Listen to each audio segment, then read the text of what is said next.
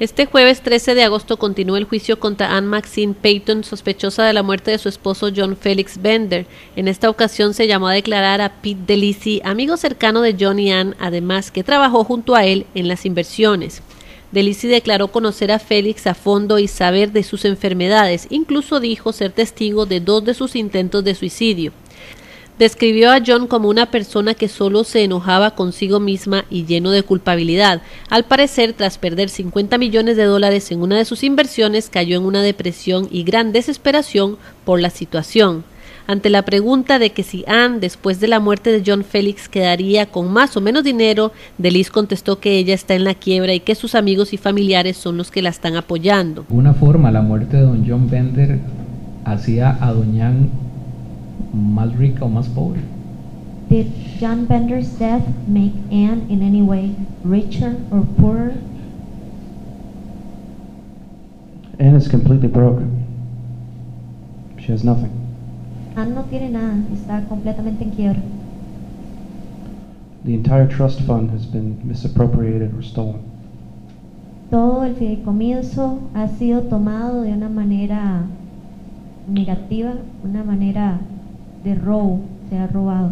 Al final de su declaración, Delicia afirmó que sí se esperaba el que en cualquier momento Bender podría atentar contra su propia vida.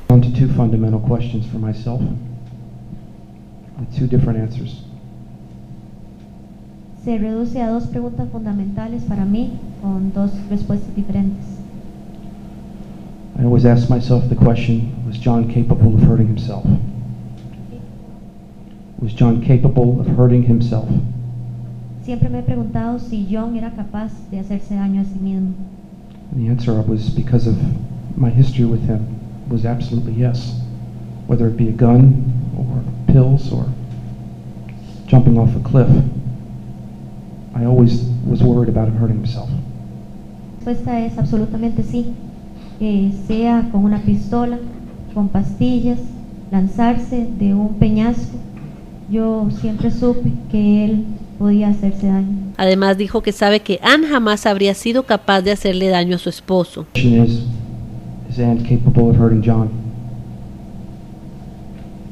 La siguiente pregunta es, ¿es Anne capaz de hacerle daño a John?